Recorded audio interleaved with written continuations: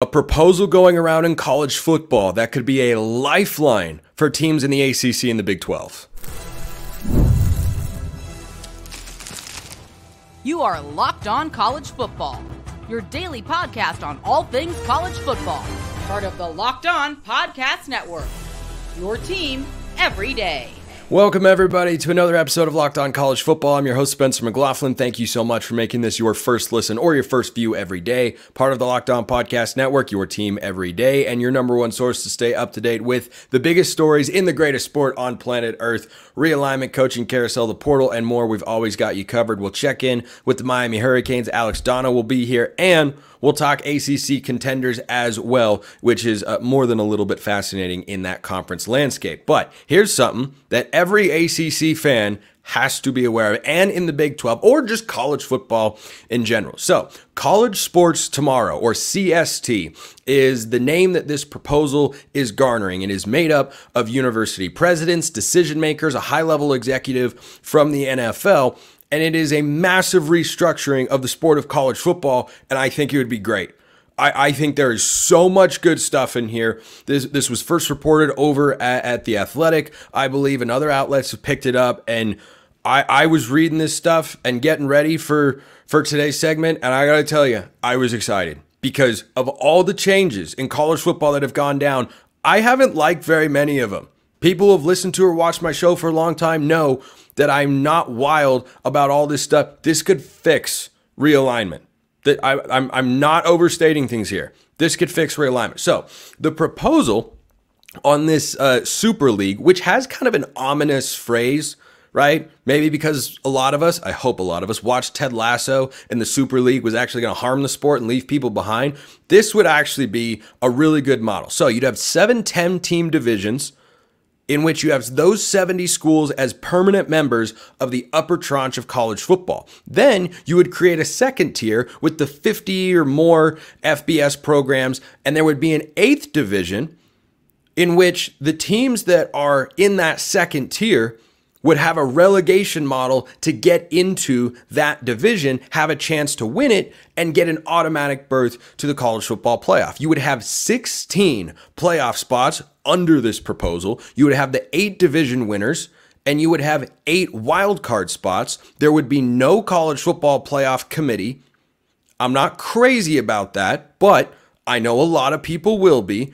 You would have no committee, and it would be kind of NFL style where everything gets decided on the field. They'd bundle up the media rights.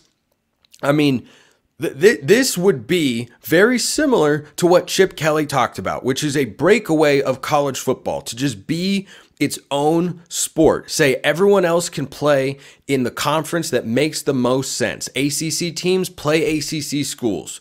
Former Pac 12, play the Pac 12. Big 10, play the Big 10. Everyone would be able to do that, and then college football would just exist in this landscape. I'm just going to plant my flag right now for whatever it is worth and say, I think this proposal foundationally is very good for a couple of reasons. Number one, you could have a return to regionality being the driving force for college football schedules, college football matchups, and just college football games and interest and intrigue and pageantry and tradition. Number two, you would not have anybody get left behind because 70 permanent members would be comprised of the former Power Five conferences. So those leagues would make up the permanent members who stay at the top.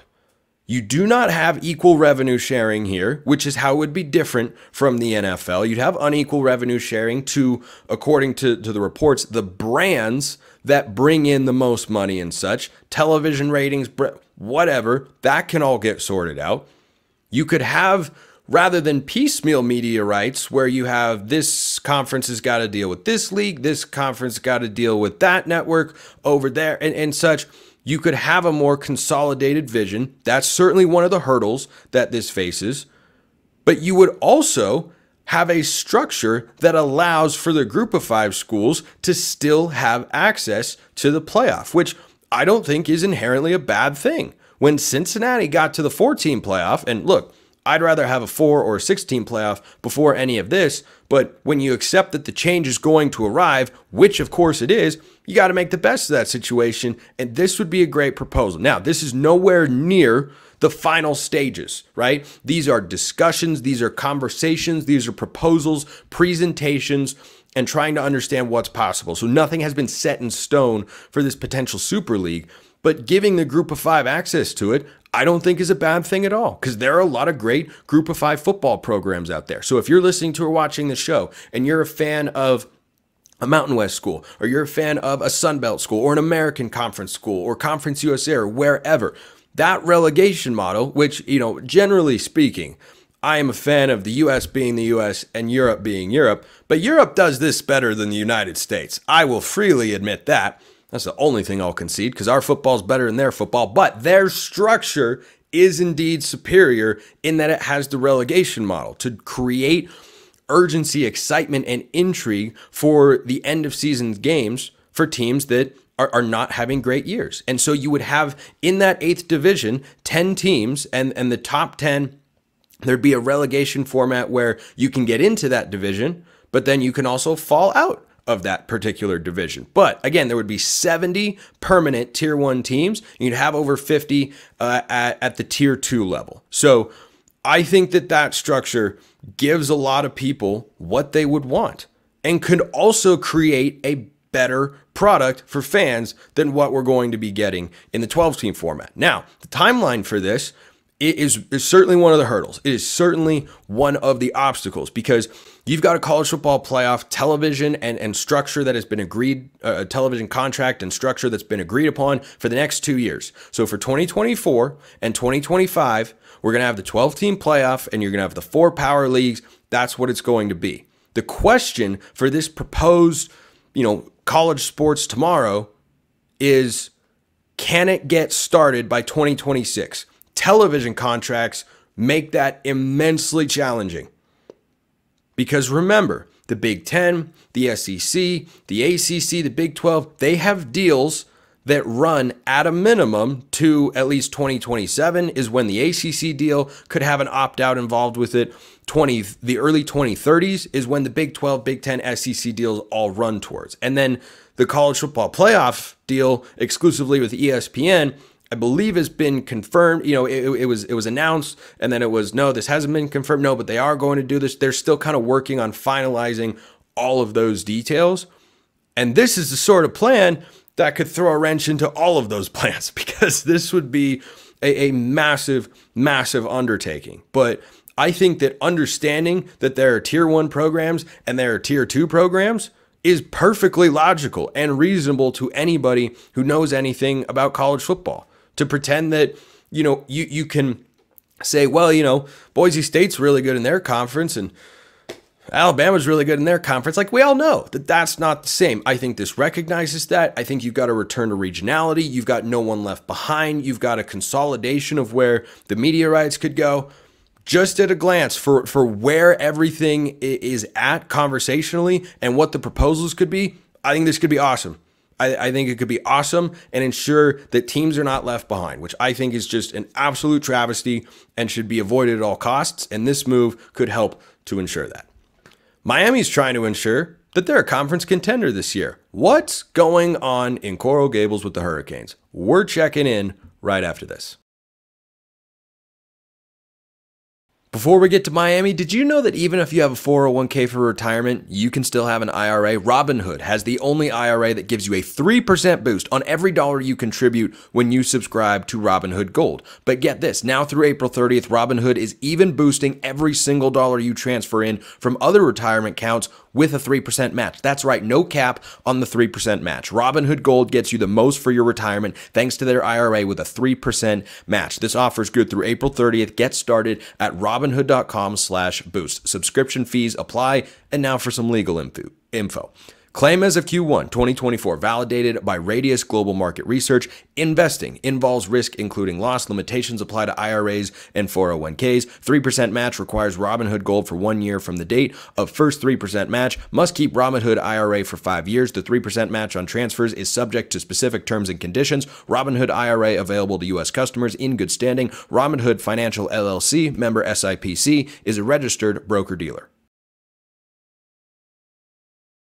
Year three under Mario Cristobal for the Hurricanes. What sort of pressure is on their head coach? Alex Donno, Locked On Canes, joining me here on the show. Just answer that question off the top, Donno. What sort of pressure is on Mario Cristobal this year? Well, not as much as people may think because he's heading into the the third year of a 10-year, $80 million contract. And so, you know, if anyone out there is saying, hey, he's on the hot seat, and if they don't achieve goal X, Y, or Z, he's going to get fired. Uh, I, I, think it, it, it, would take something pretty catastrophic for him not to make it to year four, because obviously, the farther you get into the 10 year deal, the more manageable the buyouts and the settlements would get. But with that said, I don't want to make it sound like there's no pressure.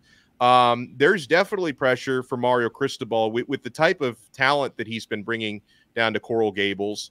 Um, and just being the fact that the results on the field have not been good enough for his first two seasons at Miami, th- there is an automatic amount of pressure that comes into that. And why I don't think his seat could get scorching hot next year, it can definitely get warm next year, Spencer, if things don't go a certain way. And you obviously you put pressure on yourself in a good way. I don't think Mario would have it any other way when you bring in a quarterback like Cam Ward, which is it's it's making a statement out there that you you want to compete and win, quote unquote, win, whatever that means. Like I'm not saying Miami should be a college football playoff or anything like that, but you definitely you, you're you're putting a lot of your they, Miami does have a lot of eggs in the long term basket with the types of recruiting classes they've been bringing in, but you also put eggs in the short term basket when you bring someone like Cam Ward in because you're definitely sending the message out there. When we bring in Cam Ward for one year, we're not in rebuilding mode anymore. Yeah, I, I think when you add a guy who momentarily was in the NFL draft, but decides, no, Miami's the place that I want to go play my last year of college football, he's certainly wanting to have a huge year as well because he wants to boost his draft stock. But he also wants to try and find something he wasn't able to get at Washington State, and that's a team that's capable of, you know, contending for a conference championship. And Washington State fans have their own thoughts on Cam Ward over the last couple of years. I, have always been a fan you know, when he came over from Incarnate Word, there were some turnover issues, and th- those can still persist a little. But his high level throw making and playmaking ability is really, really good. So I, I liken Mario Cristobal to to Brian Kelly. They're both going into year three. They're both big names. They're at big programs, and thus far, Brian Kelly's results have, of course, been much better. But are they up to the standard that that coach was hired to bring to the football program? I'd say no. They have not reached that standard yet. Doesn't mean they can't, means that they just haven't quite gotten to where fans and donors perhaps were hoping they would be. And I like the way you put it. You, you can't get on the hot seat this year. I've said that about Brian Kelly. I think your seat can start to warm up a little because I think as you push towards the midway point of any long term coaching contract, that's when I think universities and athletic departments are willing to think about buyouts and such. But the expectations for Miami are very high this year. FanDuel's got their win total at nine and a half, Donno. That's the second highest for any team anywhere in all of college football. Is Miami ready to live up to that? Uh, I my my very way too early tentative prediction is nine and three. So my literal answer to that question would be not quite or no, and somewhere between no and not quite. But with that said, um, I the the state I, I, think that there there was kind of an understanding not i'm not speaking for every miami hurricanes fan believe me because a lot of people were just shouting and screaming about you know last season oh what this guy doesn't know what he's doing. There, there's plenty of there's plenty of people like that as there are in most any fan base. But uh, i think when it comes to the powers that be i think there was a certain understanding and grace given to cristobal in the first couple of years knowing that uh, the, his predecessor didn't do a good job when it came to recruiting and culture building, and that they kind of understood, hey, Cristobal, I think it's the reason why they gave him a 10 year deal in the first place. We need you to do a bit of a demolition here and a rebuild. Uh, but the certain amount of grace that you get in the first two years, once you've had two consecutive top 10 recruiting classes, and Miami's done pretty well in the transfer portal with Ward, you know, being the the prize acquisition there. I say pretty well because you know schools like Florida State, for example, have been you know, crushing it in a way Miami hasn't in the portal, but Miami's done pretty well there. Um, you get to a point now where the expectation it's around. I mean, obviously you can't win nine and a half games. It's a Vegas number, but the expectation is around that. The people look at the situation Miami's in heading into next year when you have, you know, a returning thousand yard receiver in Xavier Restrepo and he and Ward. Uh, I've seen them connect a number of times in practice, and the the chemistry already looks pretty good there. You know, when you have uh, a returning defensive lineman like Rueben Bain, who was uh, ACC Defensive Rookie of the Year last year. When you have a returning running back like Mark Fletcher heading into his sophomore year, and what should be is you know very well covering Oregon, building offensive lines is not an, an issue for Cristobal and Alex Mirabal. They're building a nice offensive line there, so I, the expectation is around that. Spencer, when you think of nine wins or ten wins being a possibility. Uh, and then another thing, and I, I talk about this a lot from a schedule standpoint. Um, Miami's schedule looks favorable heading into next year. Sometimes you don't know how good teams are until they get into their schedule, but um, I, I, think Miami dodged a couple of a couple of ACC bullets when you don't have to play Clemson uh, this coming season. You avoid NC State, who's one of the better teams in the ACC. Miami does play Florida State every year, which is the toughest game on the schedule, but you get them at home this year. You played them pretty well on the road last year. Uh, so, from a conference standpoint, Miami has a manageable schedule. Uh, you know, the out of conference schedule outside of Florida, you have some out of conference cream puffs. Going to Gainesville, the first game will be tough, but um, you know, uh, unless they they neglect to take a handful of knees again this year, uh, I think nine to ten wins should be a manageable thing. Yeah, and I think if you are in a Power Four conference and you've got double digit regular season wins, you're going to be talked about over the course of the year as a potential playoff team. Not a guarantee, you know, 10 and 2 ACC, that's not the same as 10 and 2 SEC or 10 and 2 Big 10.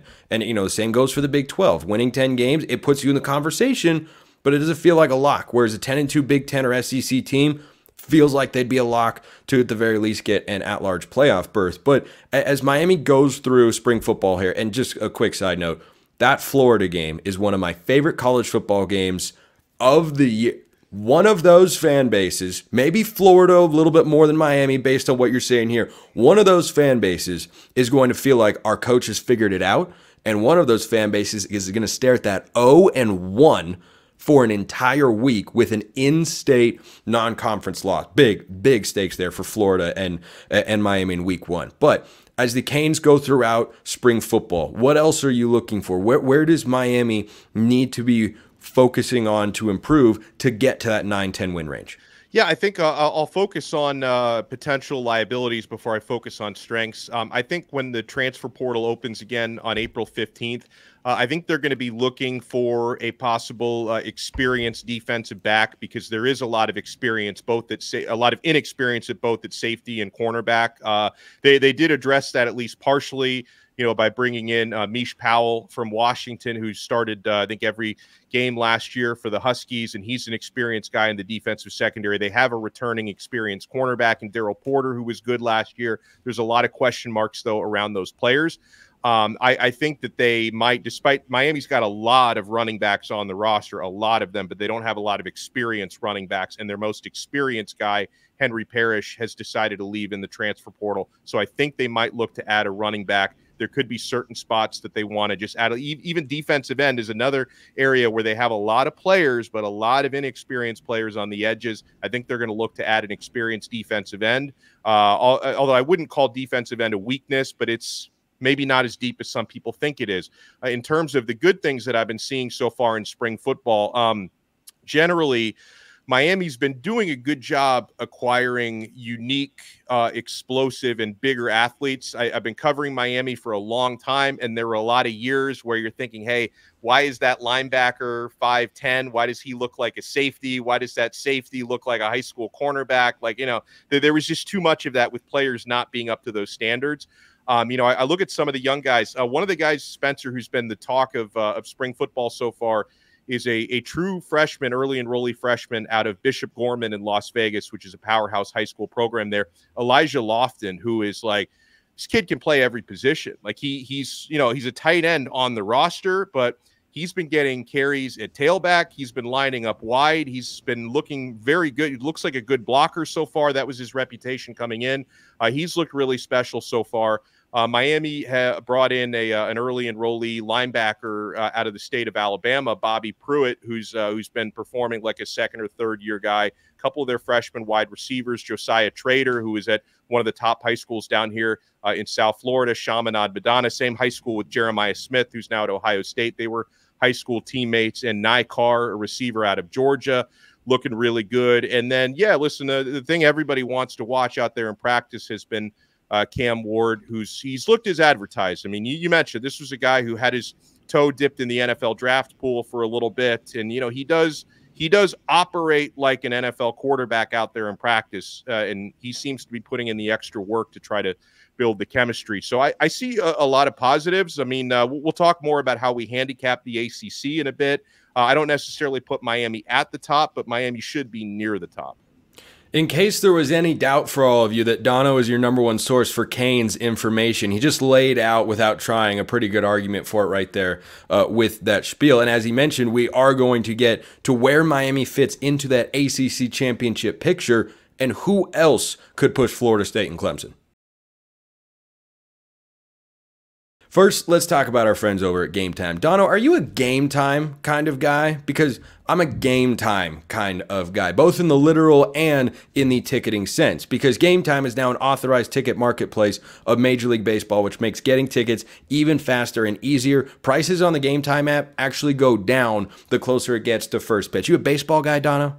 I, I am actually. Uh, unfortunately, the Miami Marlins are off to a terrible start, but I oh, get gosh. great deals on the tickets at game time. Exactly. That's what you call a silver lining, folks. And game time's doing that and so much more for you. They've got priority last minute deals for you where you can go and get whatever tickets you want, save up to 60% off buying last minute for sports, concerts, comedy, theater, etc. Save even more with exclusive in app deals on select seats ahead of the game or event. They've got all sorts of deals and the lowest prices you want for wherever you are going to go, whether it's baseball, college football, whether it's the NBA, game time's the place to go. Take the guesswork out of buying tickets with Game Time. Download the Game Time app, create an account, use code Locked On College for $20 off your first purchase. Terms apply. Again, create an account and redeem code L O C K E D O N C O L L E G E. You can see it below in the graphic here on YouTube for $20 off. Download Game Time today. Last minute tickets, lowest price guaranteed. Miami appears to be team number three in the ACC. Florida State and Clemson, that's the way the betting odds look. And then it's Miami. Donno, where do you feel the Hurricanes stand as, we move through spring football compared to the two programs that are seen as the heavyweights in the ACC this year? Uh, my, Miami should be able to push both of them, especially given what I talked about with what I feel is a pretty favorable schedule, even in the ACC. It's obviously it's never going to be as tough as an SEC or Big Ten schedule, but I think Miami avoided a couple of the the better teams that are always tough to get wins. I think missing NC State is big. I think it's the Wolf, I, I, think the Wolfpack yeah. have had a great offseason. Yeah, and they they completely uh, negated Miami's offense last year, and it wasn't just Tyler Van Dyke with his signature uh, interceptions because NC State really made it tougher tougher on him than it had to be. Uh, so it's like uh, Miami should very well be in that mix, Spencer, for a, a couple of the reasons. Like I do. Um, you know, DJ Uiagalelei, I like him. I think, and, and he may have in certain areas a better supporting cast. I'm not positive on that based on what I'm seeing from Miami, but it, just in, in a straight up vacuum, I, I would take Cam Ward over DJ Weong. Oh, I would too. Oh, I yeah, I, I absolutely. I, I think DJ. For those on YouTube, you saw me put my hand out like this. I, I think he's fine. Yeah, solid. I don't think he's capable of being the reason you win games but he's definitely capable of being the reason that you didn't lose a game and he can help you win games. But we saw at Clemson, they tried it for, you know, a, a, full season and it just did not work out very well that you can't run an offense through him the way you can, you know, a Cam Ward, for instance. Now, Ward, I think, will be in a complementary offense because Mario Cristobal wants to run the ball behind those great offensive lines that he has built his entire coaching career. I think DJU is fine, but Florida State's roster is very good. Their talent acquisition in the transfer portal has been very, very good. One of the five best classes in all of college football. And I think that's you know, kind of an interesting dynamic to see play out. Like coach during the game and quarterback, or coach during the game, I'll take Florida State. Quarterback, I'll take Miami. Roster, probably edge Florida State, but how much of an edge is it really? Yeah, and, and I think um, where where Florida State uh, in recent years has had an especially big edge against Miami, their defensive backfield is loaded. Like I talked about, Miami's defensive backfield being kind of a work in progress. Florida State always has uh, typically one of the at least in the times when they've been good. They had a couple lean years recently, but when they're on top, they they typically have a top defensive backfield. I think that's the case. Uh, they are uh, still deep despite losing some guys on the defensive line, and also like I, I don't discount the advantage of having just done last year what Miami hasn't done in a very long time, and that's go undefeated in the regular season and win a conference championship. So even though, yeah, you lose Jordan Travis, you lose Keon Coleman and Johnny Wilson, some other important offensive pieces, you know, to uh, to graduation or to the NFL. But Florida State, like you said, the talent acquisition has been good. Uh, Mike is doing a hell of a job there. Uh, in in my mind, Florida State, until proven otherwise, should be favorites in the ACC. I think with Clemson, um, I'm I'm not in this new era of college football. I'm not sold on Dabo Swinney, and I'm definitely not sold on Cade Klubnik. Uh, with that said, they still have tremendous athletes, and they are well coached. The issues that I have with Dabo are, you know, him not embracing the transfer portal. It's like become a trench he's dug himself into where it's a point of pride for him. He doesn't bring in any transfers. He despises NIL. I know a lot of fans rally around him for that. I just, I'm not convinced that that's sustainable in the current college football landscape. So I, I feel like Clemson could be a team that, and I know every time we think they're going to underperform, they end up winning nine or 10 games anyway. But I, I think this could be a year where they fall off just a little bit. Uh, so with that said, I'm not automatically putting Miami in like the number two slot in the ACC because I think there's a couple teams being slept on here, Spencer. I mean, we already talked about NC State, who I think is a little underrated. I think their win total is like eight and a half or it is indeed eight and a half for Dave Doeren and company. And then another one that's at eight and a half, I think, is underrated is Louisville. Uh, I, I, think their quarterback mm. situation is going to be better this year than it was last year. And Jeff Brohm, who already did a heck of a job in his rookie campaign as head coach at his alma mater, is heading into his second year. I really respect him as being uh, an offensive genius. I don't. I try not to use that term loosely. So I think I think Louisville's a little underrated, and Miami has them on the schedule on the road this year. They lost to them in a shootout at home at the end of last season. They have them on the road this year. That's one of the tougher games on the schedule. I put that right behind Florida State.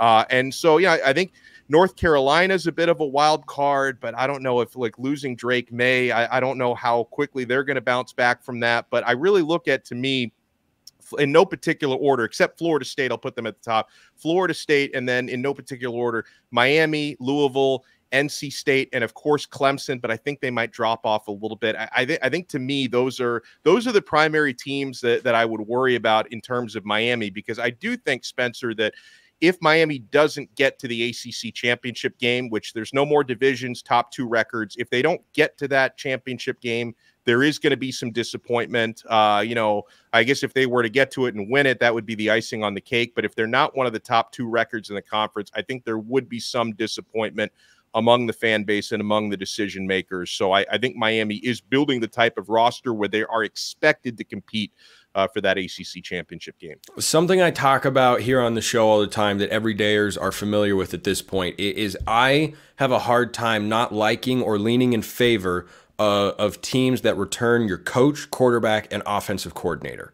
And at Clemson, you've got Dabo Swinney, you've got Garrett Riley, you've got Cade Klubnik. Those three guys were at the head of the table last year. Those three guys will be at the head of the table this year. Now, that's not to say that newcomers and new situations like Cam Ward at, at Miami can't work out potentially even better than Cade Klubnik. But I think when you have talented guys and you give them coaching continuity, it's a rare thing nowadays because the carousel can be so wild and crazy and such. But it's another reason in the SEC. Who do I really like? Georgia. You, oh, I mean, okay, that's not a, that's not a hot take or anything. But Breaking who do news. I? Yeah, yeah, yeah, yeah. Big, yeah, big, big take. They're going out on a limb saying Georgia's good. But one of the reasons that I was talking about the other day on the show, I don't know who's stopping Georgia, is you've got Mike Bobo back as the OC, Kirby at the head coach, and Carson Beck at quarterback, who I think is a stud. Who else do I like in the SEC? Ole Miss, Lane Kiffin, head coach and offensive coordinator, and then you've got Jaxson Dart back at quarterback, or Texas, Quinn Ewers, Quinn Sar- and, and, and Steve Sarkisian. So I, I'm consistent with that philosophy, and that's why I have a hard time seeing Clemson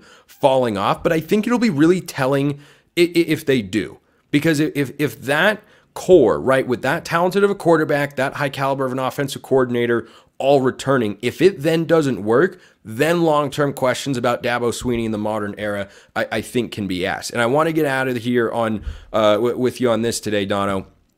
I, I, think that you've laid out well the teams that are, are most likely to contend for the ACC title. Florida State, Clemson, Miami will be in the mix. NC State could push.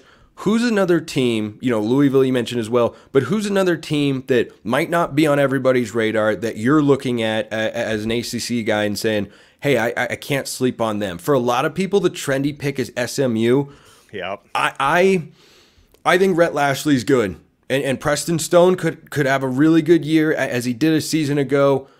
I just don't know about that G5 to, to P4 jump. It didn't go great for the programs in the Big 12. Maybe SMU is different, but is that the team that you're looking at for for what I described? It, it, it was, it was, um, and and another team. I, I don't think they're going to contend for an ACC championship, but I'm going to be fascinated to watch Duke. And I'm not saying they're going to be good because of what they lost, including Riley Leonard, heck of a player, uh, big loss losing their quarterback to Notre Dame, who did he did have issues staying on the field, but when he was on the field, yeah, they he, were he good. Was, he was the big show there. But like I, am very I'm very intrigued uh, by what's going to happen with Maalik Murphy at quarterback because I know that like he's one of those guys where the ceiling is so high, the floor is very low, uh, but the ability is through the roof, and I wonder what he can do there. And then of course I bring up Duke because as a Miami guy, you know I mentioned Mario Cristobal's predecessor not doing a very good job stocking the cupboards with recruits and talent.